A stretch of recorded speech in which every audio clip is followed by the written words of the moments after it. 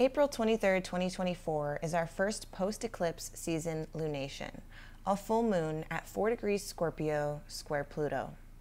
As we probably know, full moons are culmination points in time when a part of our life experiences a climax. As we step back and reflect on the fruits of this area of life, are we satisfied with how things turned out? Can we make things better for the next metaphorical harvest? Let's take a look at the ruler of this lunation, Mars. At the time of this lunation, Mars is at 24 degrees Pisces, who is sitting in between Saturn at 15 degrees Pisces and Neptune at 28 degrees Pisces. In this context, Mars is still experiencing the after effects from the Saturn conjunction, which was very rough. It coincided with the death of O.J. Simpson, the ruling of the death penalty for a Vietnamese real estate embezzler, Truong My Lan, and the murder suicide of a popular astrologer, Mystic Lipstick, aka Danielle Johnson or Ayoka. In the echoes of those Saturnian impacts, Mars is running into a conjunction with Neptune, which enhances themes of delusion, confusion, manipulation, and elusiveness. Neptune is like a mirage not what you really think it is, and not as it seems. Neptune can also enhance themes of spirituality, sacrifice, victim mentality, and addiction. But overall, I think it symbolizes that we are seemingly in between a rock and a hard place.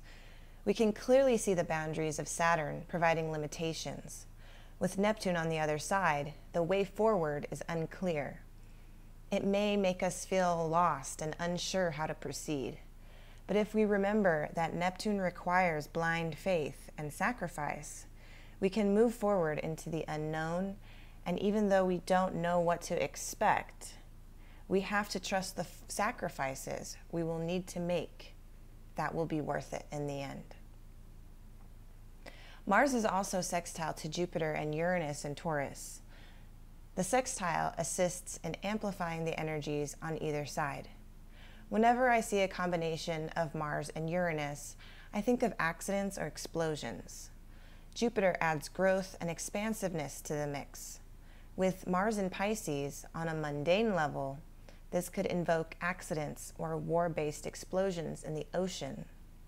For example, it could manifest as a combination of a Taurian Earth event, like tectonic plates shifting that triggers a volcano, hurricane, or typhoon but of course, it could be any combination of the many significations of all planets and signs involved.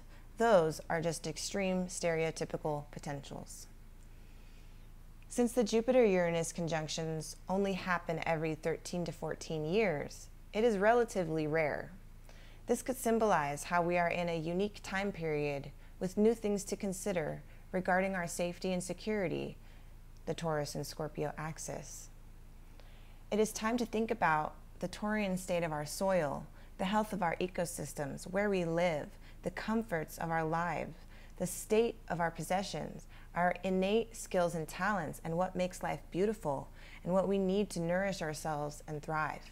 Especially since after the pandemic, all of those considerations have shifted. We all know we can't go about doing things in the way we used to. We have to revise all of that especially with Mercury retrograde on the North Node, co present with Venus and Chiron and Aries. We are being asked to clean up our act and make a fresh start for ourselves. South Node in Libra is doing away with the ways in which we used to relate to each other. It is doing away with the unnecessary niceties that were holding us back, holding us in a state of not wanting to rock the boat too much. It's giving us the opportunity to speak up in a way we haven't before, giving us permission to say what needs to be said, even if it's not so polite. That is the only way we can make these much needed shifts. This lunation is squaring Pluto, adding a harshly intense opportunity or conflict regarding power dynamics. What has come to pass in a certain area of our life has presented us with an outstanding consideration that could make us question whether we have full agency of a situation or if someone or something else has a heavy influence on us. Pluto in Aquarius indicates those questions of influence may be coming from societal structures, technology, AI, or other community based humanitarian considerations. We may want to sit with those questions and think about how much agency we actually have in those regards. Could we get more involved? How could we gain more influence on these topics instead of having them take control of us? Instead of feeling defeated about outside forces taking control of our lives, in what ways could we take back some of that control? It could be as simple as learning more about the forces at hand. After all, knowledge is power. Could we make better use of our time doing more impactful work? How can we step into our own power?